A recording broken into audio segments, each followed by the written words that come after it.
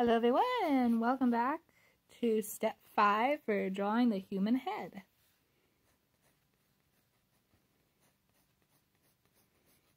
So, just a second, taking care of a little mistake there.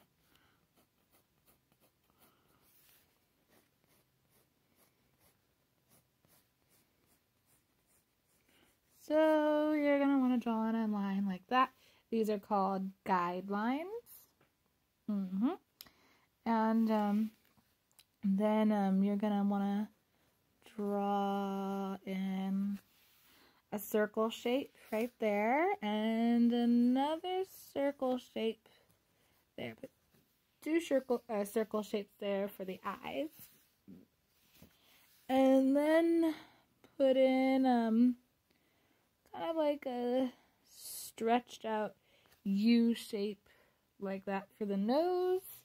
Then you're going to want to make this funny stretched out V shape there for the lips.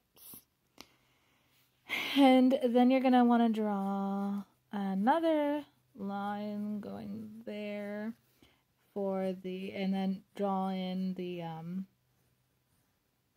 the eyebrows like that. And then draw in um, the other eyebrow like that. Um, and that's all there is to it to drawing the human head. That was step five, and that's all the steps there are. So thank you for watching, and have a good rest of your day. Put any likes or subscribes or comments you may have, and have a good rest of your day, and that's drawing the human head.